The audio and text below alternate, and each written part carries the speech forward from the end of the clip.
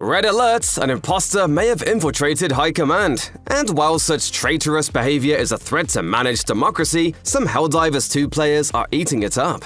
Get in my belly! Some nefarious provocator is seemingly impersonating Joel, the game master controlling Helldivers 2 from behind the scenes, and we have no idea what grand plan the imposter is pursuing. To be fair, some Helldivers might not care what fake Joel is planning, because when he shows up during a mission, you can rest assured that things are about to get way more exciting. The other day, a video started floating around the internet showing a player called AH Joel, popping up in a Helldivers 2 match. This so-called Joel tells the other players that he needs to get back to work. Before he leaves, he spawns in an APC, a giant armored truck, and leaves it for players to enjoy. This is one of the upcoming Helldivers 2 features that hackers leaked quite a while back, and players have been dying for a chance to play around with it.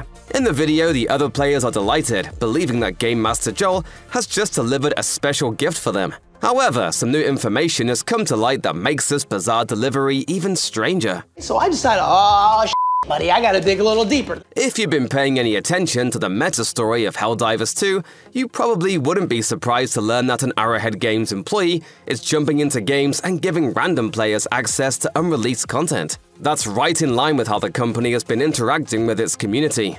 The devs like to ramp up the game's excitement by layering in all kinds of unexpected surprises. Unceremoniously dropping an APC into a game seems exactly like the type of thing that Joel and his compatriots would do. But supposedly, this incident was entirely out of their control.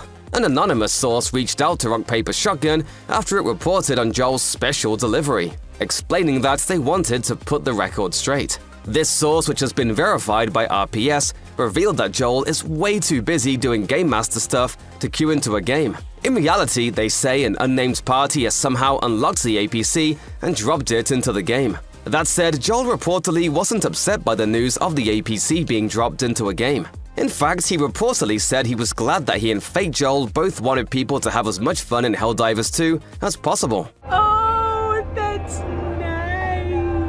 At this point, Arrowhead Games has conditioned us to never remove our tinfoil hats. Players are already trying to dig into the dark origin of the automatons and theorizing about the Game Master's next move. And now we're getting to the bottom of Fake Joel and these bonkers APC drops. Well, at least some players are. Some players are utterly unconcerned with Fake Joel's real identity. As long as he keeps delivering amazingly fun items, they're not worried about what he's really up to. And this actually plays right into one of the most believable fan theories about Fake Joel. What if he really is Joel after all?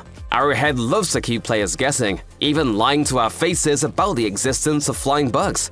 So why wouldn't the devs lie about the identity of this APC courier? The studio could be using this as a method of building hype for the next big update. After all, the developer teased mechs for a little while before they were added to the game for real. Whether or not Arrowhead is doing this on purpose, Fake Joel and his APCs are definitely building hype. Getting to see the armored vehicle in action has gamers more excited than ever for vehicles to properly arrive in the game. Fake Joel could just be some hacker out there doing good deeds. But considering everything that Arrowhead has done up to this point, we're also willing to believe that this is another unorthodox strategy from a developer that's made chaos into a core part of its brand. You will grind our enemies into oblivion.